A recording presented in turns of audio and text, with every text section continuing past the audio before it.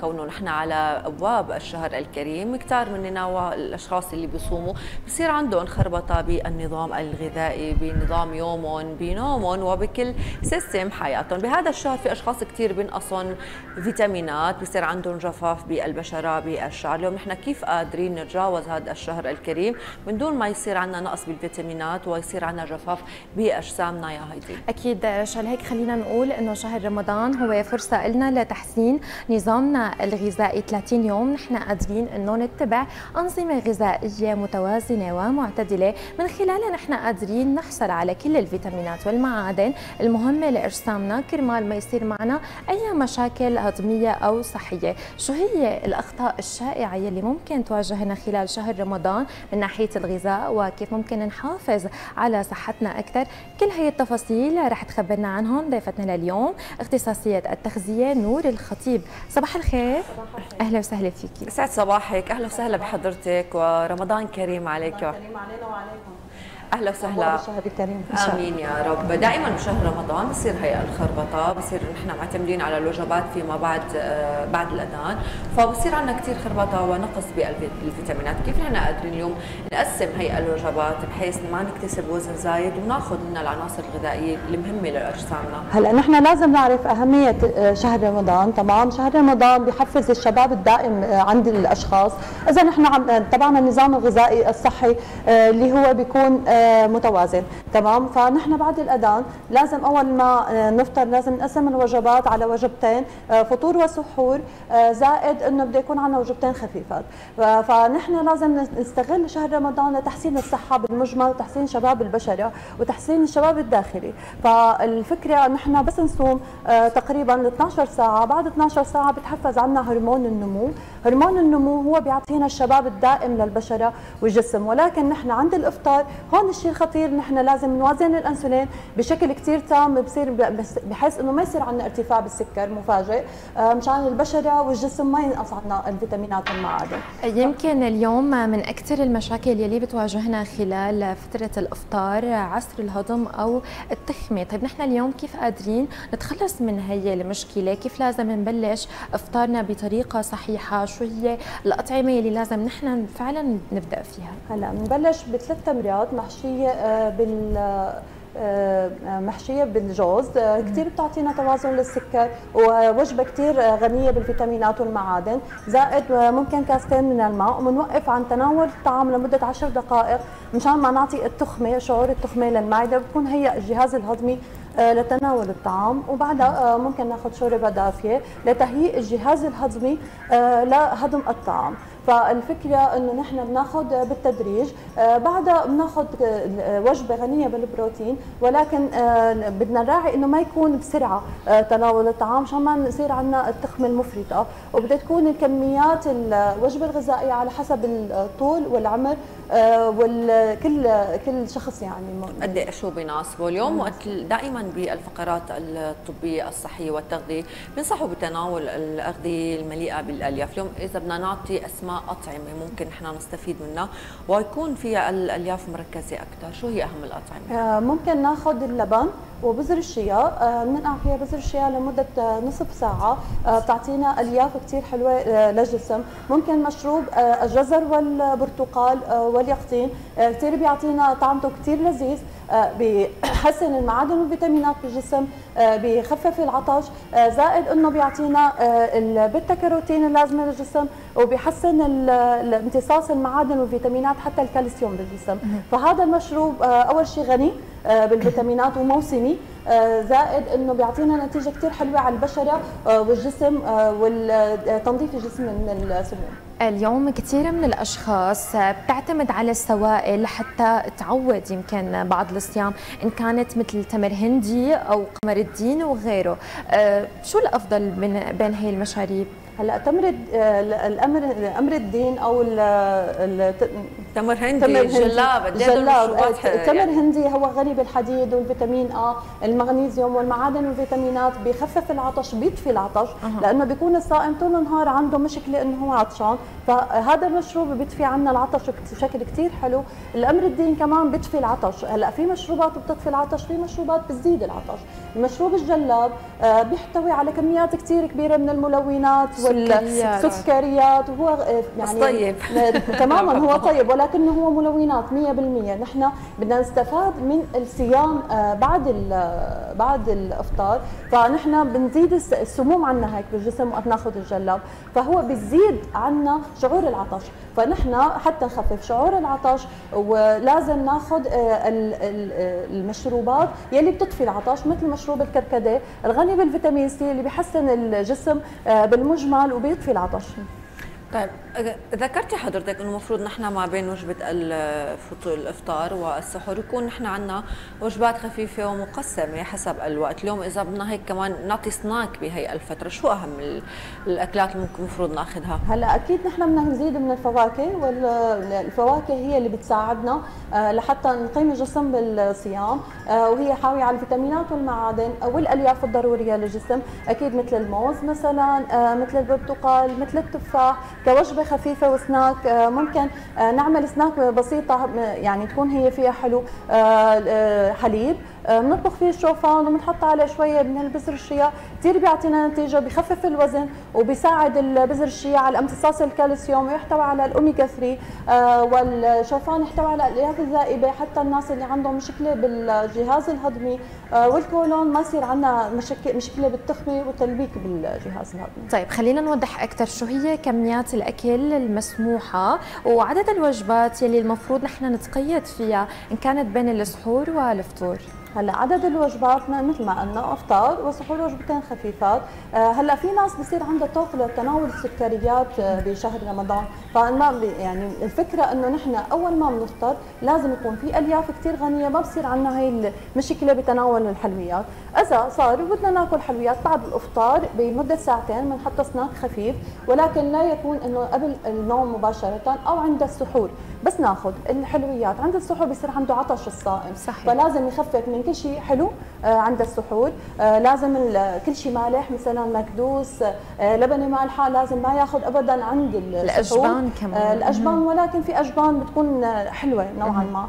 ممكن ياخذ عند السحور ولكن أهم شيء خفف الملح لأنه بيزيد العطش بالنهار. أكيد نحن بننصح الصائم بتناول 8 ل 9 كاسات من الماء بين الفطور والسحور مشان نقيم من الجفاف خلال فترة النهار هلأ بالنسبة للصيام كثير له فوائد بس نحن لازم يكون نظامنا الغذائي جدا متوازن فبيحفز الالتهام الذاتي للجذور الحرة آه، بالجسم اللي هي مسببات الأولى للسرطان. فنحن ممكن نقي حالنا من كثير أمراض ونرفع مناعتنا بالصيام ولكن لازم يكون نظامنا الغذائي متوازن فبناخذ هي الفائدة من هذا الصيام الصحي. كونه ذكرتي اليوم عدة فوائد للصوم. أيضا في أشخاص اليوم بكون شهر رمضان هو فرصة لتخفيض الوزن إنزال الوزن. اليوم كيف قادرين نحن آه، نحقق هذا الهدف؟ هل من خلال تنظيم الوجبات من خلال المشروبات الحلويات؟ وإذا في آه، كورس رياضة يعني ايمتى بتنصحي فيه؟ هلا نحن كورس الرياضه ممكن نعمل أول ما بنستيقظ صباحا رياضة هوائية لمدة 10 دقائق ولو كان صائم وهي أهم رياضة بالنسبة للصائم آه، ممكن تكون قبل أذان المغرب بساعة أو ساعتين أكيد مو أول آه، شهر رمضان. حتى آه، أول يومين بيكون رياضة كثير خفيفة لمدة 10 دقائق. إذا كان من الناس اللي هي رياضية بشكل كثير كبير ممكن إنه تلعب الرياضه بحديد بأوزان حديد خفيفة قبل المغرب بساعة أو ساعة ونص. آه، لأنه ممكن ينزل الوزن كثير بشكل كثير كبير بهذا الوقت إذا نحن لعبنا رياضة. وبعدين بننظم الوجبة الغذائية. إذا نحن ما عندنا قدرة نلعب رياضة وفي ناس ما يعني ما, ما في وقت. هي الطاقه أو ما في وقت آه، ممكن بعد الإفطار بمدة ساعتين آه، بنتناول الطعام بنلعب رياضة خفيفة ايروبيك أو مقاومة بسيطة. كثير بتعطينا نتيجة حلوة. لانزال الوزن أكيد وبتنظيم الوجبات الغذائية وبنحسبها على حسب الشخص السعرات. الحرارية الكافية للشخص مع رفع البروتين بالوجبات. طيب نحن فينا قادرين نتبع نظام آه، تخفيض وزن برمضان؟ تماما أكيد. في في ناس بينزل وزنها برمضان. آه، ممكن هي تستثمر إنه هي ما عم تاكل بهذا بهذا الشهر. يعني هي إنه بتنظم الوجبات عندها وبتستفاد من الصيام الصحي. بس أكيد في ناس عندهم مشكلة بالتناول الطعام أكيد أول أول شهر 10 أيام في ناس بصير عندها سحب الكافيين كثير صعب. بيشربوا قهوة أول ما يفيقوا من النوم كثير هلأ الناس عند التدخين كمان. ممكن في ناس بصير عندها سحب النيكوتين من الجسم كثير صعب آه، عليها أول 10 أيام. فبصير عندها هي بدها تتفشش بالأكل بعد المغرب صراحة. فأكيد نحن ما بدنا هذا الشيء يصير. فبنحاول ننظم الوجبات ونعطيهم شيء بيحسسهم شعور الشبع. مثل مثلا كوجبة غذائية متوازنة بنعطيهم آه، شوربه بالبداية بعدين آه، صحن من السلطة متنوع جرجير يعني في فوائد. آه، يعني في فوائد يعني إنه بيكون مشكل. وممكن كمان آه، سلطة الشمندر كثير تعطيهم شعور بالشبع مع السمسم. زائد ممكن ناخذ قطعتين من الدجاج مشويات أو يكونوا لو بال تماما. نور من شوي خبرتينا إنه الحلويات نحن ما لازم ناخذها ابدا بوقت السحور. طب خلينا نوضح شو هو الوقت الأفضل لحتى ناخذ نحن حلويات الكميات المسموحة منها. تمام. هلا مثل ما نوهنا بعد ساعتين أو ثلاثة آه، من الإفطار فينا ناخذ الحلويات كسناك بسيطة بكمية محسوبة. آه، يعني آه، بتعطيهم السعرات الحرارية ليكفوا النهار. أكيد الكربوهيدرات هي شيء مهم بالنسبة للجسم لأنه هي بتعطي له شعلة الطاقة. يعني طاقة الجسم تاخذها من الكربوهيدرات ولكن بنفضل تكون كربوهيدرات معقدة مشان ما يصير عندنا شعور التخمة والمشاكل الهضمية عند الصائم. وممكن كمان ارتفاع السكر المفاجئ في ناس عندها الضغط في ناس عندها السكري لازم هذا يعني يتنظم سعراته الحرارية وتتنظم الوجبات اللي هو عم ياخذها لأنه شهر رمضان ممكن في ناس عندها السكري يصير عندها هبوط مفاجئ بالسكر وغيبوبات سكرية. في ناس منقلها لا افطري برمضان على حسب آه، يعني آه، ضبط السكر تبعها وقياس معدل السكر. طيب نور نحن على أبواب الشهر الكريم واليوم في كثير أشخاص بيروحوا للصيام قبل بعدة أيام أو في بالشهر إذا بدنا نقول يعني. اليوم الأشخاص المقبلين على صيام شهر رمضان كيف قادرين يهيئوا أجسامهم لحتى يدخلوا الشهر بأريحية أكثر يعني كمان أنت تنامي تفيقي تفاجئي جسمك إنه أنت حارمتي من كل شيء هذا الشيء رح يعمل تعب. تماما. هلأ أول شيء بنأخر وجبة الإفطار النظامية اللي هو بياخذها الشخص. آه، ممكن اللي بياخذ الكافيين بيشرب قهوة آه، بخفف عدد آه، فناجين القهوة وما ياخذ القهوة أول ما بيستيقظ من النوم بده يحاول يبعدها لأنه سحب الكافيين من الجسم بيعمل وجع راس أول كم يوم برمضان لأنه في ناس متعودة مباشرة بتحط قهوة آه، بتشرب قهوة بعدين بتروح على في ناس تاخذ أكثر من تماما فنجان يعني تماما. الصبح. يعني هلأ نحن بدنا نخفف العدد مشان سحب الكافيين ما يكون عليه صعب. ومن بعد وجبة الإفطار آه لتقريبا مثلا إذا كان بيفطر تسعة مثلا خليها 12 أو وحدة. آه وبعدين من بنبعد بين الوجبات بنخلي الغداء بين بين الفطور والغداء أربع ساعات. هيك شوي بيتعود على على موضوع الصيام. تمام. قد إيه اليوم بنشوف نسبة كثيره من الناس بيلغوا وجبة السحور؟ بيقولوا لك إنه أنا ما بقدر آكل ونام أو أنا ما بقدر خلص يعني لثاني يوم آه خلص ما ممكن جوع. قد إيه هذا الشيء غلط؟ وقد إيه اليوم وجبة السحور كثير أساسية؟ وجبة السحور كثير أساسية لأنه بتعطينا الطاقة للجسم آه بتعطي الحيوية آه مشان تعطيه إنه قدره يتحرك طول النهار. لازم يعني يأخر وجبة السحور قد ما بيقدر لأنه وجبة السحور هي اللي بتعطي الطاقة للجسم. ولكن بدها تكون وجبة خفيفة ما بدها تكون فيها تخمة أو بيكون فيها رز مثلا فيها نشويات كثير عالية بدها تكون مثلا بيضة آه، مع رغيف خبز أسمر آه، مع قليل من الخضروات. آه، يعني بدنا نعطيه إنه شيء مشكل ولكن يكون كثير عادي وخفيف. طيب شو هو السحور الصحي اللي ممكن نحن نعتمده؟ هلأ السحور الصحي ما لك بده يكون متوازن. يحتوي على لبنه جبنة الجبنة الناعمة كمان كثير خيار حلو لأنها خفيفة بالملح. ممكن زيتون ولكن بنسبة كثير يعني إنه مثلا 7 ل 8 زيتونات زائد إنه سلطة مشكله ممكن يعني شيء متوسط يعني. طيب خلينا نروح للأطفال. اليوم في نسبة أطفال كثير كبيرة أيضا بتصوم بتقليد العائلة بحبوا هن هذا الشيء. ولكن اليوم الحصص الغذائية اللي نحن مفروض نعطيها للأطفال أكيد غير الأشخاص بعمر كبير. اليوم كيف قادرين نحن نسمح لهم بالصيام من دون ما يصير عندهم نقص فيتامينات؟ شو هي الأكلات المفروض أو الحصص الزياده نعطيها للأطفال. هلأ الأطفال ما بنسمح لهم حتى حتى عمر معين بالصيام لازم تدريج بالصيام للأطفال. تلاقي يعني إيه. صغير كثير يعني صغير كثير إحنا بنقول مثلا صوم للظهر. في ناس هيك بتعمل تدريجيا حتى تعودوا على الصيام. أنا كنت صوم للظهر. تماما. إيه تماما. يعني إنه صوم للظهر حتى تعوديه للطفل إنه هو يصوم. أما هو يكون بعمر كثير صغير يصوم حرام. تمام. لأنه بتفاجئيه مباشرة إنه يصوم للمغرب. ولو هو مع أشخاص كثير ما بصدق إمتى يقدم المغرب هو الطفل. كثير عنده طاقة وبيحتاج للسوائل أكثر منها فلازم حصصه الغذائية تكون متوازنة أكيد وغنية بالمعادن والفيتامينات بشكل أكبر مسموح أكثر يعني مسموح ككميات. أكثر تماما. أكيد الكميات والفيتامينات والمعادن ممكن نفوت له غبار الطلع غبار الطلع فيه بروتين كثير حلو آه للأطفال وبينمي آه الجسم وبيعطيه آه الطاقة بحيث إنه هو يقدر يصوم تمام. غبار الطلع كثير حلو للأطفال. طيب. بالنسبة اللي عندهم أمراض مزمنة إن كان ضغط أو سكري قد لازم اليوم يكونوا دقيقين ومنتبهين لنظامهم الغذائي؟ وأيمت ممكن لازم ياخذوا الدواء؟ قد لازم يكون في انتباه أكثر للموضوع؟ تماما. هلأ مريض السكر كثير بده يكون منتبه بده ياخذ قراءات السكر عنده عند الصباح وقبل المغرب نص ساعة مشان ما يصير عندنا اختلال بمعدل السكر.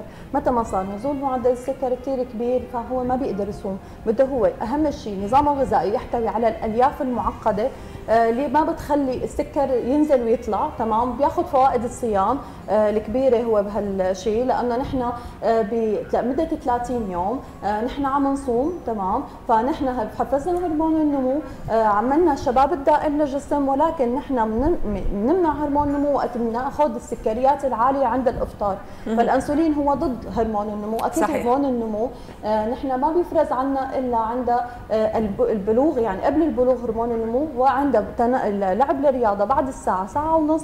بيصير عندنا شباب الدائم للجسم نحن بناخذ هذا هي الفائدة بشهر رمضان أكيد. ولكن المرضى وذوي إنه الأمراض الخاصة أكيد بدهم ينتبهوا على القراءات تبعهم. هلأ اللي ممكن يكون عنده الضغط أول ما بيقدم بده ياخذ الحبه تبع الضغط آه، وبده يحاول يخفف الملح بالوجبات الغذائية وبده يخفف الدهون المشبعة آه، بالمجمل لأنه هي بتأثر على مريض الضغط بشكل كثير كبير آه، لأنه غالبا عنده ضغط بيكون عنده مترافق مع الكوليسترول آه، والشحوم الثلاثية. فهذا بده ينتبه له بشكل كثير كبير ببلش ببلش بداية بالضغط بعدين بينتقل لهذا الموضوع ممكن يكون مترافق مع موضوع السمنة.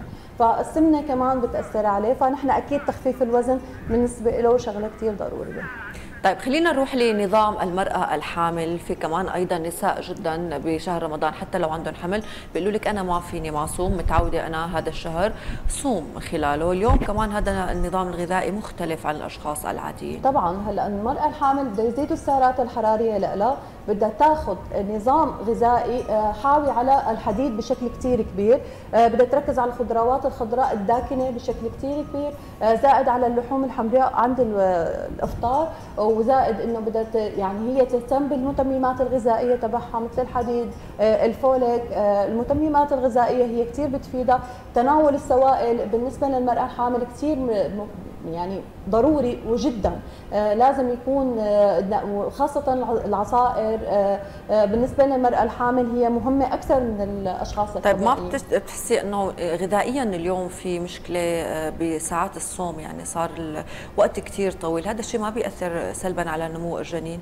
هلا هي هي إذا حابة تصوم تمام؟ ما بصير شيء على الجنين إذا نحن آه، درسنا النظام الغذائي لها بالوقت المناسب بتاخده آه، بسعرات حرارية مناسبة بالنسبة لها طيب خلينا ختاما نعطي نصائح لكل حدا عم يتابعنا لحتى يحافظ على صحته اليوم خلال شهر رمضان ويتبع أنظمة غذائية مناسبة معتدلة ومتوازنة من خلالها قادر يحصل على كل الفيتامينات المهمة للجسم. هلا النصائح بالمجمل أهم شيء نركز على الخضروات الخضراء الداكنة آه، ممكن ناخذ بذر الشيا كمتمم غذائي إضافة آه، لمشروب البرتقال والجزر كثير طيب وبيعطيهم طفي العطش بدنا نركز على تناول الماء ونكون بصحة. أكيد. دائما العودة إلى الطبيعة يمكن هي أفضل شيء مو بس بشهر رمضان طبعا. بكل أيامنا. ذكرتي العصائر الطبيعية. نحن فينا أكيد نعتمد على الخضروات أكيد. يعني في ناس كثير بتضل كل الليل عم تشرب مي. هل هذا الشيء صحي؟ أكيد لا. شرب المي كمان بكثرة. كمان بيسبب جفاف عند الأشخاص. هي الناس ما كمان معلومة ما بتعرفها لأنه ممكن شرب أكثر من لترين ونص. ماء بيسبب جفاف عند الأشخاص وبالعكس بيصير إدرار البول أكثر. لأنه لأنه بينقص البوتاسيوم بالجسم بينقص الصوديوم بصير عندنا مشكلة بالشوارد فبصير إنه مثل عنده دوخة كثير قوية بالنهار نعم. وتعب وإرهاق فنحن لا بدنا نكون متوازنين بكل شيء أكيد. بالختام بدنا نشكرك كثير اختصاصية التغذية نور الخطيب. أهلا وسهلا فيك وشكرا لكل المعلومات اللي قدمتيها لليوم. أهلا وسهلا. شكرا نور لحضورك لليوم. يومك حلو ورمضان كريم عليك مرة ثانية وعلى كل عائلتك. أهلا وسهلا. رمضان كريم علينا وعليكم.